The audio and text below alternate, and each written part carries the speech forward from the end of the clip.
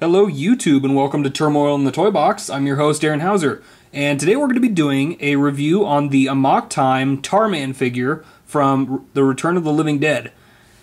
One of my favorite zombie movies. It's definitely a really kind of fun horror comedy, but I was really excited when I found out that Amok Time had actually got the rights to uh, create this figure. And it kind of was in production hell for a while, and a lot of us just kind of lost hope that they were actually ever going to release it. But um, found out recently that they were shipping, so here it is. Uh, we'll kind of give you a look at the the packaging here real quick. Kind of gives just a uh, brief rundown on the figure and what it comes with. Got some good uh, cover art there. On the sides. And then here is uh, the guy in his package. And I love, this is the first zombie figure I've actually seen that comes with a brain. That's so fucking cool. So, yep, that's him in the package, and uh, we'll pull him out and show you all what he comes with. Alright, here's Tarman, all out of his package. It's a little smaller than I was expecting, but this the detail on this is very, very cool. Um, we'll start out with the accessories. Like I said, he actually comes with this little brain.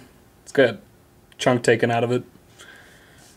Um, what's cool is the brain actually sits in this little blood puddle on the base perfectly, so it won't roll around or anything.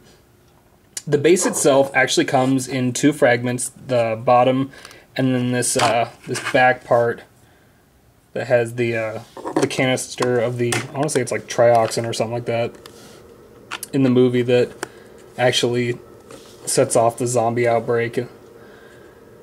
Um, it would have been cool if they came with an actual, you know, can like in the movie, but you know, we waited long enough. This is very cool as it is, so can't complain that much.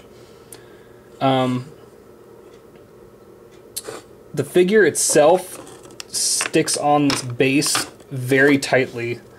It's got these kind of odd shaped foot pegs to make it so that it locks in perfectly. It's not going to rock around at all.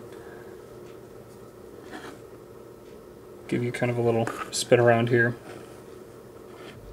Like I said, the detailing on this thing is probably the coolest feature. I always love the makeup effects in The Return of the Living Dead, and I thought this figure does a really great job of kind of. Let's pull this out so you can see the.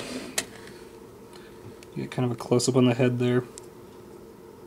Now, the jaw is actually kind of loose on there, and you can't keep it up. It kind of just hangs down. If you spin it, it'll kind of. Oh, never mind. It's kind of sticking. Oh, depends.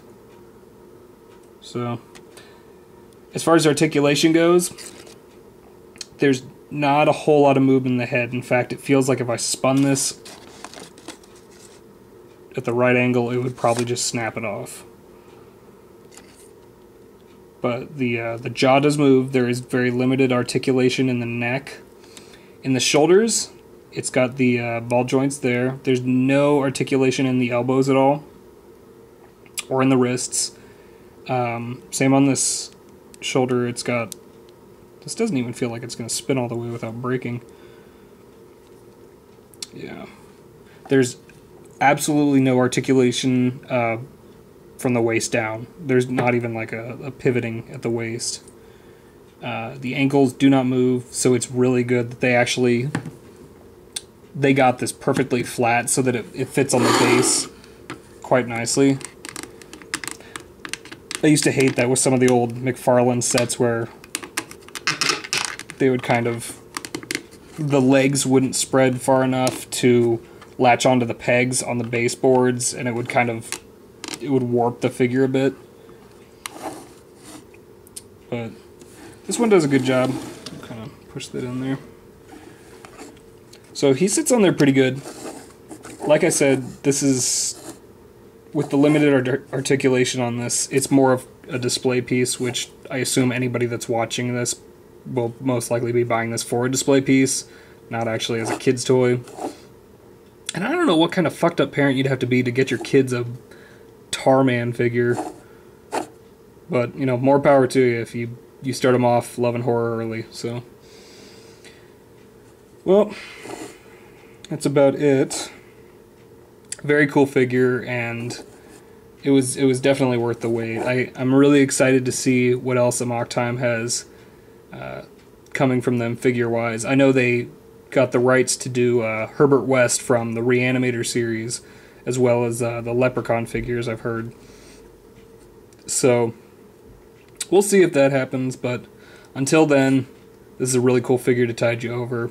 And as always, thanks for watching.